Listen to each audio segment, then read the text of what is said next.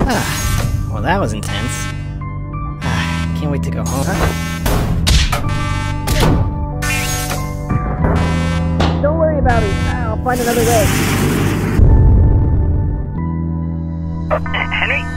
You there? Ah, man, that roughed me up. Got him, though. There's gotta be another escape pod around here somewhere did it, though. We got him. It a pretty good plan. Couldn't say it was the greatest.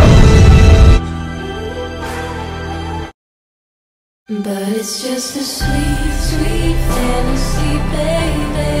When I close my eyes, you come and take me. General, Toppat Station has been destroyed. Excellencies.